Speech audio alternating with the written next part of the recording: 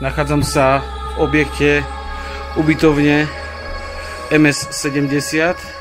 Bola postavaná pri príležitosti majstrovstve sveta v lyžovaní.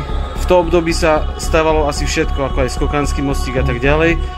Je to nedaleko hrebienka, je to taká drevená stavba, ktorá tu roky v podstate hnie a nič sa s tým nerobí a asi sa ani robiť nebude.